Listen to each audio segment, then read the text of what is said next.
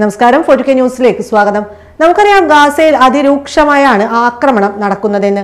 അതിന്റെ നടുക്കുന്ന വാർത്തകളും ദിനപ്രതി അവിടെ നിന്ന് പുറത്തു വരുന്നുണ്ട്. അതിനിടയിൽ ഇസ്രായേൽ സൈനികർ കൊല്ലപ്പെട്ടത് ആക്രമണത്തിന്റെ തോത് വർദ്ധിപ്പിക്കുകയും ചെയ്തിട്ടുണ്ട്. ഇപ്പോഴിതാ മറ്റൊരു വാർത്തയാണ് ഇസ്രായേൽ സേനയുമായി ബന്ധപ്പെട്ട് പുറത്തു വരുന്നത്. ഗാസയിൽ ഹമാസിനെതിരെ പോരാടാൻ യശിവ മതപാഠശാലകളിലെ വിദ്യാർത്ഥികളെ ഇസ്രായേൽ അധിനിവേശ സേനയിലേക്ക് റിക്രൂട്ട് ചെയ്യുന്നതായി ഇസ്രായേൽ മാധ്യമങ്ങൾ റിപ്പോർട്ട് ചെയ്തിരിക്കുകയാണ് ഇപ്പോൾ. സൈന്യത്തിലെ ആൾക്ഷാപമാണ് തീരുമാനത്തിന് പിന്നിലെന്നാണ് വിലയിരുത്തൽ. പരിശീലനം നൽകി ഒരു വർഷത്തിനുള്ളിൽ ഇവരെ സൈന്യത്തിൽ ചേർക്കും. മതപാഠശാലയിൽ തന്നെ ഇതുമായി ബന്ധപ്പെട്ട പരിശീലനം നൽകും. പദ്ധതി പ്രകാരം അടുത്ത മാസം ആദ്യം മുതൽ പ്രാരംഭ പരിശീലനം തുടങ്ങും. മൂന്നര ആഴ്ച നീളുന്നതാണ് പരിശീലനം. ഈ കാലയളവിൽ അവധി പോലും ലഭിക്കില്ല. പ്രാരംഭ പരിശീലനം കഴിഞ്ഞ് രണ്ടു മാസത്തിനുള്ളിൽ വിദ്യാർത്ഥികളുടെ മതപഠന കേന്ദ്രങ്ങളിൽ മാസത്തിലൊരിക്കൽ രണ്ട് പരിശീലന സെഷനുകൾ സംഘടിപ്പിക്കും. അതിനുശേഷമാണ് ഇവർ സൈന്യത്തോടൊപ്പം ചേരുക.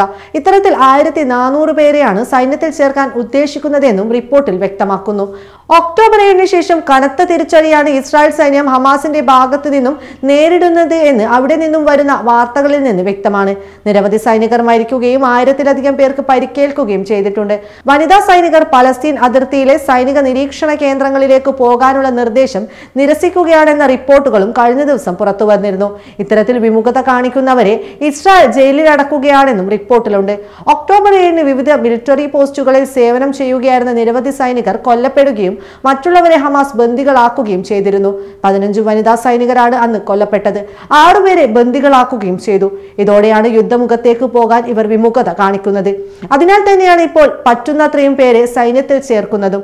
സത്യത്തിൽ ഗാസയിലേക്ക് യുദ്ധത്തിന് പോകാൻ ഇപ്പോഴുള്ള ഇസ്രായേൽ സൈനികർക്ക് പോലും മടിയാണ്. മടിയല്ല ഭയം എന്ന് വേണം പറയാൻ. കാരണം ഗാസയിലേക്ക് പോയാൽ എന്തായാലും ഹമാസിന്റെ മിന്നൽ ആക്രമണങ്ങളും പ്രതിരോധവും ഉണ്ടാകും. അത് ചെറുത്തു നിൽക്കുക പ്രയാസം തന്നെയാണ്.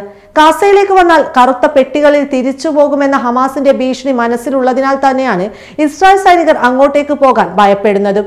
എന്തായാലും ഇപ്പോൾ ദിവസങ്ങളുടെ പരിശീലനത്തിൽ വിദ്യാർത്ഥികളെ അടക്കം സൈന്യത്തിൽ ചേർത്തിട്ട് യുദ്ധമുഖത്തേക്ക് പറഞ്ഞുവിട്ടാൽ എന്താകും അതിന്റെ ഭവിഷ്യത്ത് എന്ന് കണ്ടറിയാം.